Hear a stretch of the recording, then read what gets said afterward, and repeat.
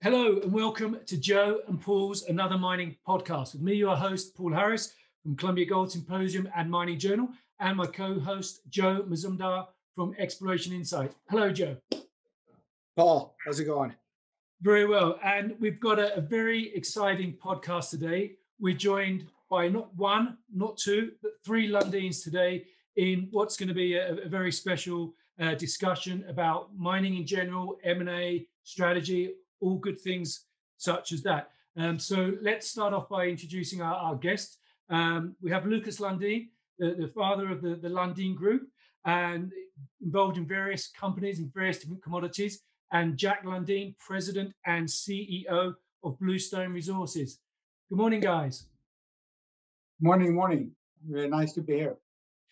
Thank you. Um, I think um, it's, it's, perhaps worthwhile starting off with uh, let, us bit of an overview of the Lundin Group and how it uh, how, how, it came about and some of the, the different companies and assets that you have.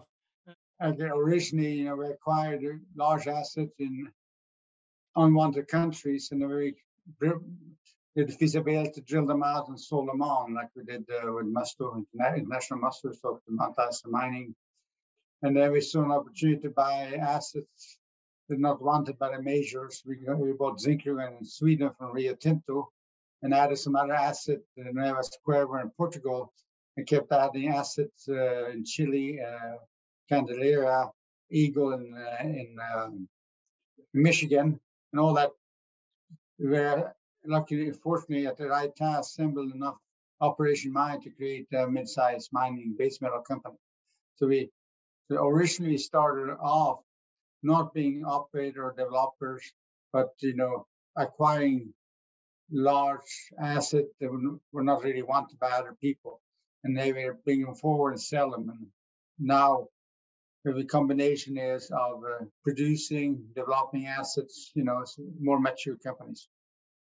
Lukas, just a, a question is that when when you're looking at buying these assets which are unloved let's say, or undervalued, like like Chapada in Yamana that that you mm-hmm. purchased, or Candelaria in I gather that was Phelps Dodge at, yeah. at, at that time. Is that it? Is it? How much is it like your view on the commodity um, in the cycle and and being exposed to nickel, copper, or whatever, or and how much is it that this is you know misvalued in the portfolio, a willing seller, and how much is it that you're thinking? Well, geopolitically, this is a guy. This is an asset that's getting very highly undervalued because it's Ecuador, because it's Argentina, or it's because of the DRC, or is it a combination of all three? It's a combination of all three, and also you know had a lower metal market for a while. So, you know, we got Canada with Freeport by, from Freeport because they were heavily indebted when they merged. Oh, okay. Before oil and gas, and they, they had to sell assets. An opportunity came up to be able to buy it. Today, trying to buy Canada would be impossible. It's full right copper, nobody will sell it. And same Eagle was a small asset for Rio Tinto. We bought that, the nickel asset. Nickel price has been weak, and you know, it's another asset disposed as an opportunity. Today, I think we're much more, much harder to buy producing assets. You know, today, if you're going to build a company, you probably have to build a build assets yourself, build the mines. Trying to trying to buy long life producing base metal assets is very difficult in this market. Uh, do, do you see uh, like in, in terms of the development, at least with with some commodities, we see a paucity of development projects, and then you know changes in geopolitical risk or taxes or royalties that we're seeing in Chile and Peru. Do you see opportunities there when people are pulling out or holding, you know, putting their foot on the brake? See them, even even the large assets with a stable tax regime, not, nobody is selling. But I see an opportunity like in across the board in Argentina, which I've been there for 30 years.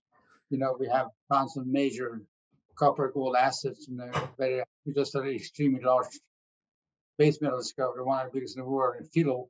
And I think I see opportunity in, in that country to advance the get a major mining loss for us and better way to develop the project because the money Argentina needs foreign investments. I think it's a good opportunity in that that country to move forward quite quickly.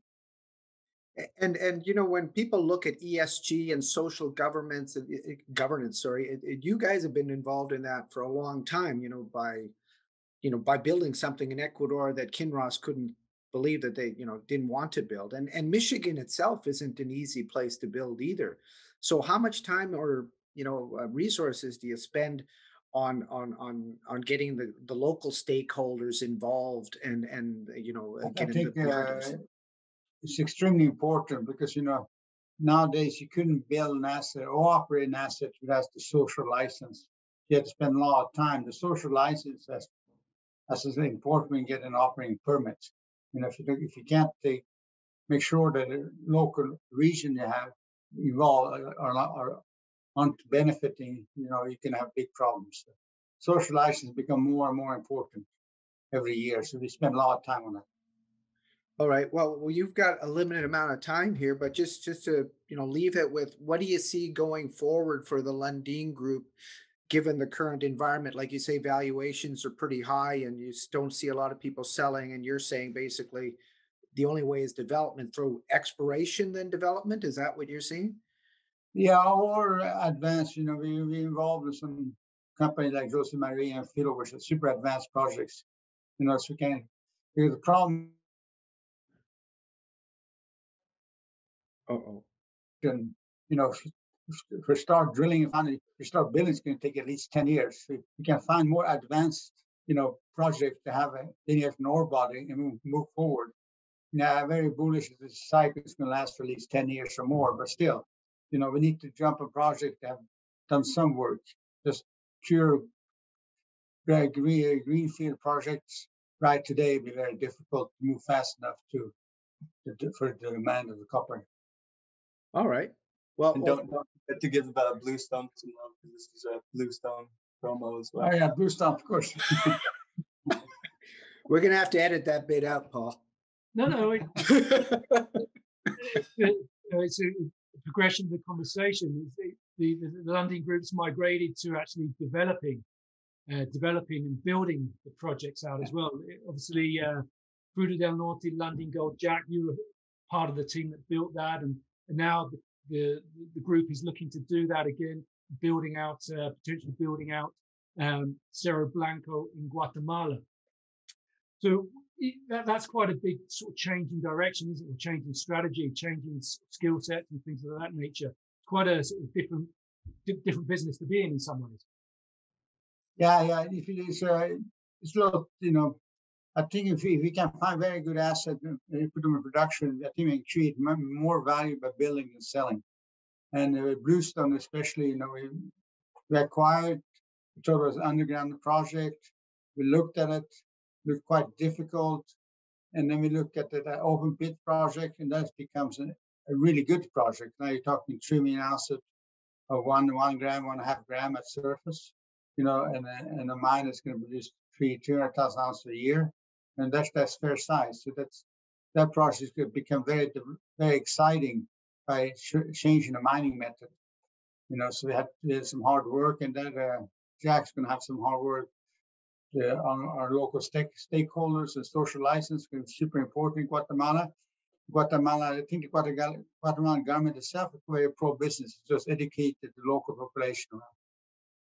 So, so that, sorry that that was very important in you guys thinking about going from the underground to the open pit was the change in the government was was that key yeah we, we went to sort of president explain it because you know to have a not best experience with the mining industry in guatemala so they're a bit nervous. So we had to really explain to him what we're trying to do and get his blessing to do an open pit.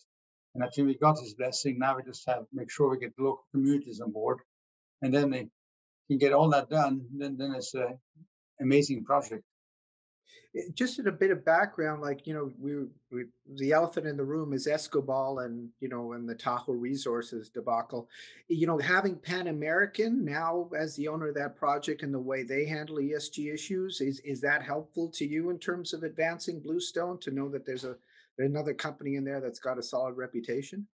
Yeah, yeah, yeah. Eh, eh, eh, super advantage. They're good guys, and I think Escobal is a great asset. You know, they have some local community issues, and most of the time, you know, it's not only the company, it's not only the country, it's the company and the country. You know, because sometimes we do we goof up. You know, and the best thing for us is run around and blame Guatemala, which is not maybe they have to look at ourselves. So it's like uh, Ecuador, you know, Kinross blame Ecuador. At the end of the day, you, know, you can sit down and do a deal with Ecuadorian, and we got it, we got it done. You know, so it's a two-way street. And another aspect uh, that the, the, the Lundin Group has, you've got the Lundin Foundation, the charitable foundation, um, s- able to come in and support and augment and, and the, the ESG, the social aspects. Uh, the company does stuff and the, the, the foundation does stuff. Um, to what extent is, is, is that a, an advantage um, when you're sort of dealing with uh, governments and host communities in countries such as Ecuador, and Guatemala, which perhaps haven't had the best experience with mining companies in the past? I think it's been a big advantage, especially in Ecuador. You know, we set up uh, purchasing. I think we before we start building, we won. I think in the GDP, the local economy was sixty-six million dollars. We spent twenty-two million dollars a year before we start building. You know, in the local economy, and trying to get local purchasing. You know, tra- train local people, and you know, to be able to provide basics for mine. You know, different food products and milk and meat, you know. So I think very, you know, if you can get, if everybody sees that they can benefits from the assets we develop, and not only just the federal government, it helps a lot. And I think Lundin Foundation is very helpful. All right. Well, why don't we uh, make that transition into Bluestone now? Uh, thank you very much, Thank uh, you, Lukas, for joining us.